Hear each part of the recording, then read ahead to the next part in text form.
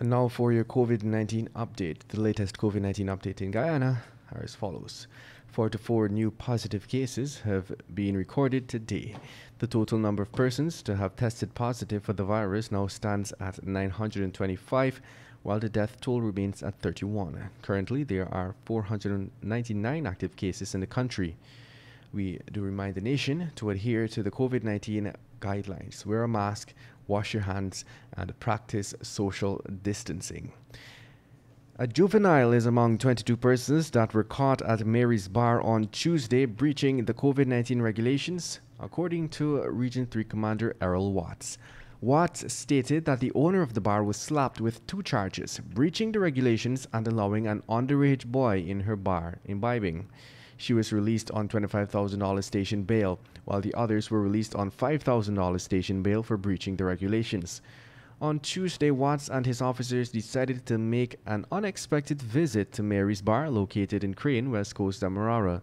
He then instructed a police officer to take the names and record the faces of all the persons in the bar.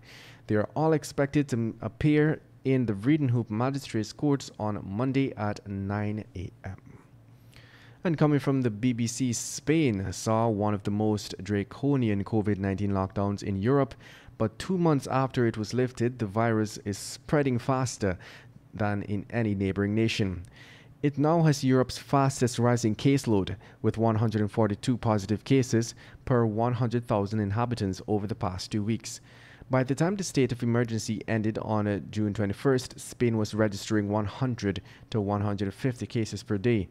That number has risen to more than 3,000. Meanwhile, average daily cases of coronavirus in Africa fell last week, according to the Africa CDC. The continent wide daily average was 10,300 last week, down from 11,000 the week before. The director of Africa CDC, Dr. John Nkengasong, said it was a sign of hope. Africa has recorded 1,147,369 cases, more than half of which are in South Africa, and about 26,000 deaths. And that's your COVID 19 update at this time. Thank you for listening.